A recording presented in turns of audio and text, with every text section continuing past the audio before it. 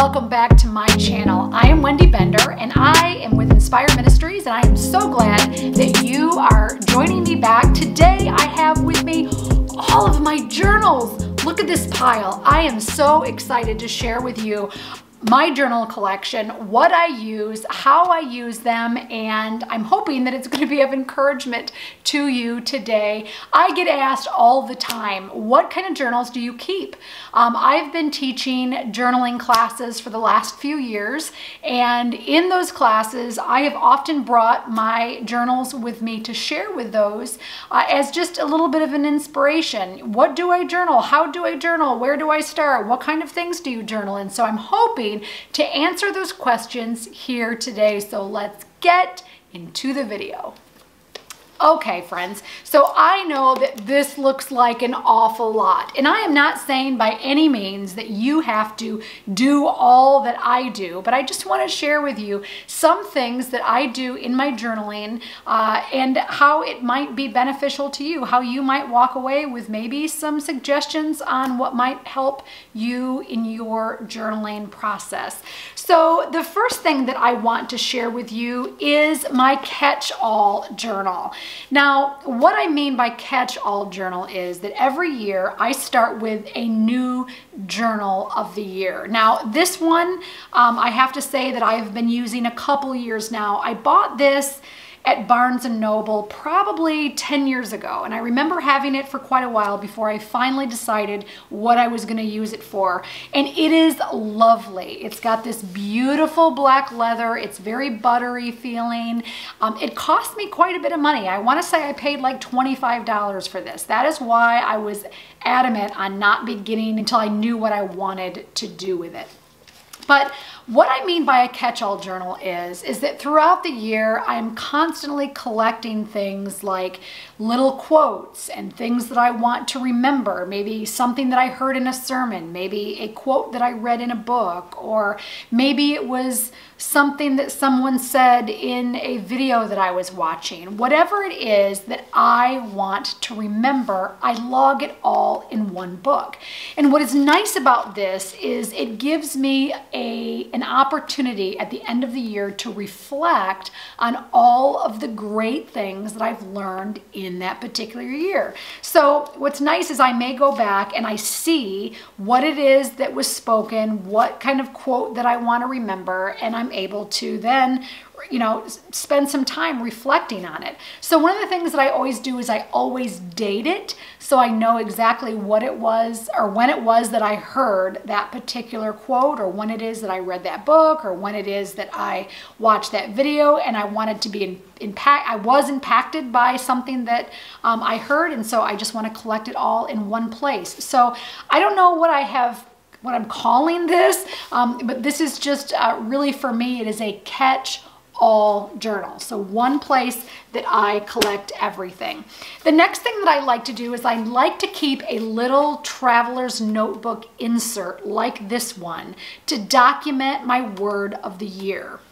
So what I mean by that is I choose a word every year to live by. I've been doing that for several years now. I choose one word that I kind of filter my entire life in that year um, through. And so I keep it, I have a place that I keep it all in as it relates to that one word. So what I mean is I will write in the very beginning my word of the year. So my word this year is remnant. So I write word of the year, I write what that word is, and then I write what I want to learn about that word or how I want that word to impact me in that year. And then I use this as a place to collect anything that I learn about that word, anytime I see that word referenced somewhere, anytime someone mentions the word to me, anything that I want to learn in regard to that word of the year I collect in this little journal. Now, it doesn't have to be very big. I feel like for me, I don't use it a whole lot, but it is just one little way for me to document the things that I'm learning. And I think what's really nice about this is it gives me an opportunity at the end of the year to see what I've learned and how that word has impacted my life or not. I mean, if I'm being real with you, I have chosen words to live by in a year that really I did absolutely nothing with in that year. I, I chose it maybe because I liked the word. And so um, it gives me a measuring tool at the end of the year to find out, did I use that word this year? Did I think about that word? Did I pray about that word? Did I learn anything from choosing that word this year? So the words journal is one thing that I do. Another journal that I keep is a journal that I use to document all of my sermon notes in. Now, of course, through the year 2020, we did not go to church. We used church online.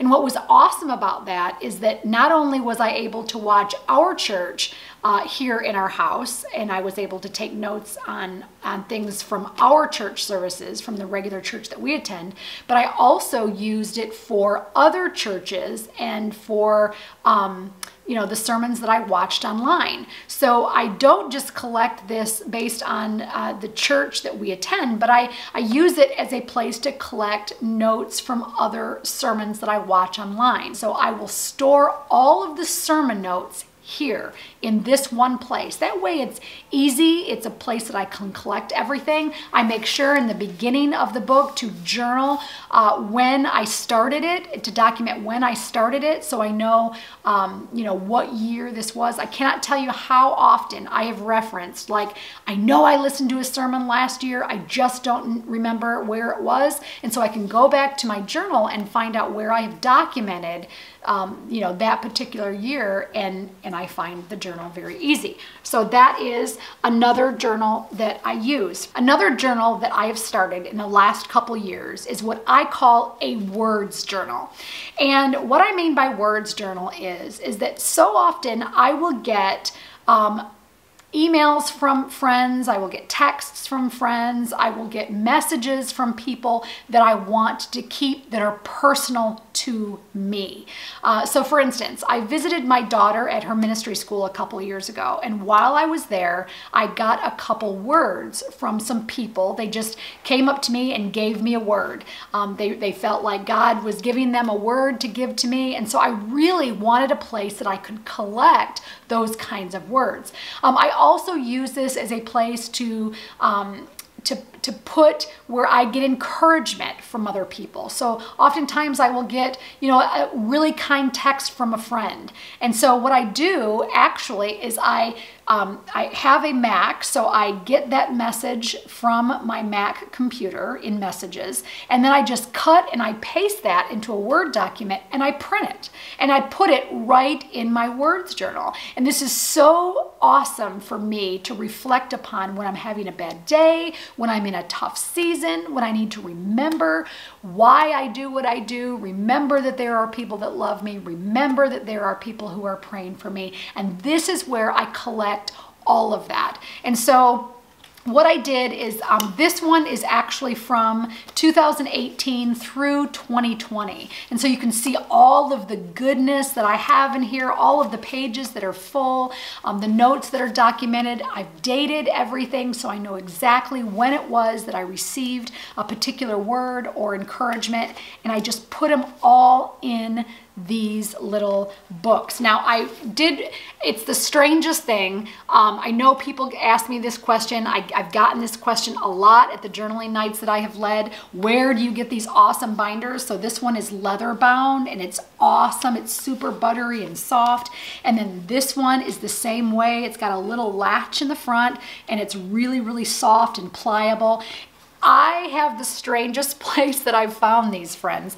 I've gotten both of these at Cracker Barrel. Can you even believe it? I bought this one, again, probably six, eight years ago. I bought myself one and my daughter one when we were at an event for her church, for our church one year. Um, and I, again, I wasn't sure what I was going to use it for. I wanted it to be something super special. And so um, I just found this to be super, super nice for collecting those things that are personal to me. And it's a really nice, sturdy leather. So I know it's going to hold up for years to come. And I remember thinking, gosh, if I could only get another one like this when I started 2021. And so I went to Cracker Barrel. We have one in the city that we live in. I went to Cracker Barrel just, you know, at the beginning of December, preparing for the new year, and they had this one. Now you can see it's a little bit different.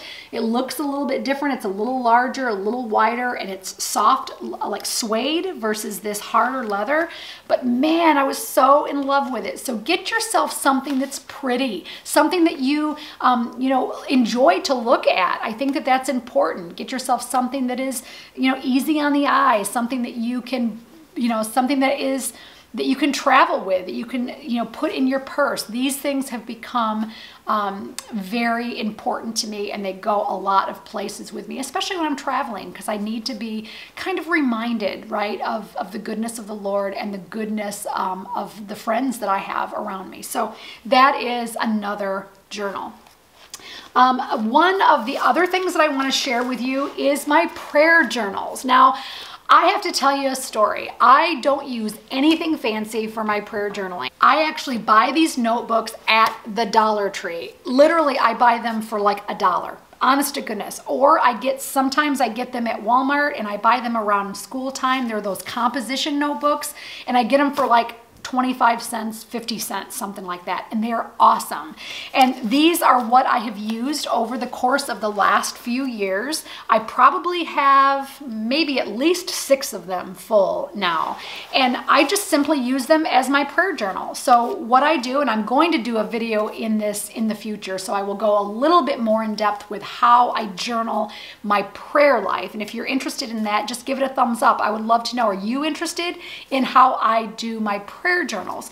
But these are just prayer journals, again, that I keep, that I document all, all the way through. I write names of those that I'm praying for. I write praises. And then I, a lot of times I will actually write my prayers out. Things that you see that I adhere to the front of this are just quotes about prayer, just things that I have been studying about prayer in scripture, um, things that I have I have heard in sermons concerning prayer that I want to remember in that given time frame.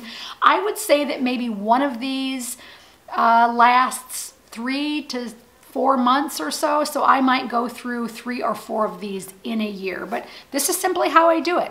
I write them down and I love writing prayers down. I think it is so important. Again, dating them, making sure that you are going back through and highlighting all of the places where you've seen prayer answered. This is so awesome to be able to look back and reflect upon the goodness of the Lord. So great prayer journals right here.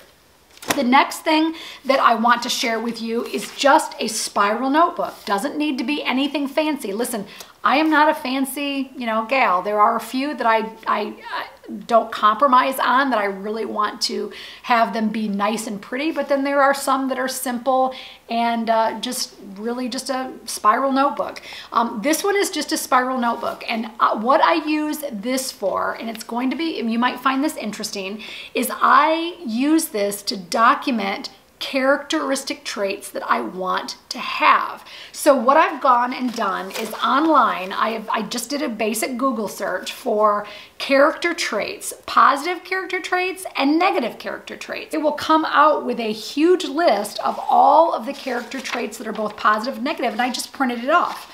Then what I do is I go through in my journal and I write down all of the ones that I want to learn more about. And all I do, honestly, I don't do a whole lot. This isn't a Bible study. This is just a character study. So I write the word down, I write the definition of that word, and then I write out a simple prayer. God, I want to be accessible. I want to be benevolent. I want to be brave. And so I write those words down. And as I have looked those words up and I have journaled about those words and prayed about those words, then I just highlight them so that I can go on to the next one. And so that is a really awesome thing to do if you are interested in just keeping a list of some practical ways that we can pray through what kind of character traits that we want to have. So there's another suggestion for you, a character traits book. The other thing that I wanted to show you is my Gospels journal. Now, I have been using a Gospels journal now only maybe for a year and a half or two years. I love to read through the Gospels. So, Matthew, Mark, Luke, John. And I'm always telling people that if you can, read through the Gospels four times a year. That would be one Gospel that you are reading all the way through four times a year. So, you would be reading Matthew four times, Mark four times, and so on. And I love to do this, but what I was finding is that it was difficult for me to retain what it was that I was learning because I would read through Matthew and I would read through it one month and I would find a whole bunch of things that I absolutely loved about the book. And then I would read it at another time and I would learn all brand new things about the book. So, what I started to do is keep a journal through the Gospels. So, really, that means is as I go through the Gospels, I simply write down what it is that I'm learning, starting with Matthew and going all the way through John. So, I sit down with the Bible and it's not a study. It's different than actually Bible studying. It's just writing down what it is that I'm learning or writing down what it is that I am observing. Where I have found this to be extremely helpful is when I go through Matthew for a second time. Then I simply come right back to the Gospels journal, open it up where I was before, and then in a different color ink, I make different notes because again, God reveals different things at different times to us through his word. And so keeping a gospels journal is an amazing thing to do. One of the other things that I love to do is I love to find prayer patterns through um, the Psalms. And I absolutely love this. I have been doing this now for a couple years. This is my second book doing this because I've already filled up one because we know that there are so many Psalms, right? And so what I do is I go through the Psalms and when I find one that is actually a prayer, where it's actually David praying to God or it's, you know, it is a prayer to the Lord, I print it out. So you can go to BibleGateway.com, type in the verse or the chapter that you want to print and then just hit print and it'll print it for you. And what's nice is that I have collected them all in this one book. So for instance, right here is Psalm 51. And what I did is I just printed it off from Bible Gateway, three hole punched it, and I put it in one of these inexpensive binders that I got. I think I got this at the Goodwill, seriously, for like 10 cents. And I so I really don't spend a whole lot of money. And I just put them in a three ring binder and then I go through with my highlighter and I make notes. And this is an awesome thing to do when you want to understand prayer better. It's a, it's it's how I go through and I learn what kind of disposition did the psalmist have? What did he pray about? How did he praise God? What did he thank God for. And so this gives me a perfect illustration of prayer. In fact, I have a Zoom Bible study that I'm doing on this particular uh, this particular resource, and I'm so excited to do a video coming up of the Psalms. If you would love to know more about how you do this, comment below. I would love to know if you would love a video on this. I would love to do a video series on this. So this is another way that you can use a binder to uh, journal. The very last thing that I want to share with you today is a binder, a three ring binder. And this is another way that I study and another thing that I journal about. I love Paul. Paul of the New Testament. He's one of my favorite characters in all of the Bible. And so I want to learn more about Paul. And so what I was finding in, earlier last year, I think it was, is that I was running into all of these verses that showed me more about Paul's character. You can go all the way through Acts and Romans, and he wrote a third or more of the New Testament. And you really get to learn a lot about Paul's character. Well, I wanted one place to house all that I could learn about Paul's character. And so I just got me a very inexpensive three ring binder, and I am using it to collect all of the information that I'm learning about the life of Paul. I just inserted something that I made, a little cover that I made, personal character study, the Apostle Paul.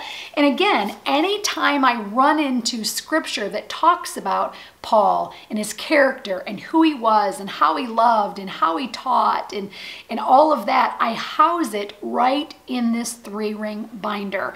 And it's a very awesome place to collect um, what it is that I'm learning about the apostle and what it is that I'm learning about his life that I want to emulate. So, another way, I understand it's not a journal. I do handwrite a lot through it. I know it's a lot of printing, but anything that I want to learn about him, whether or not it's written or something that I've typed out that I want to um, just print off or something that I've ran off on BibleGateway.com, everything goes in this binder.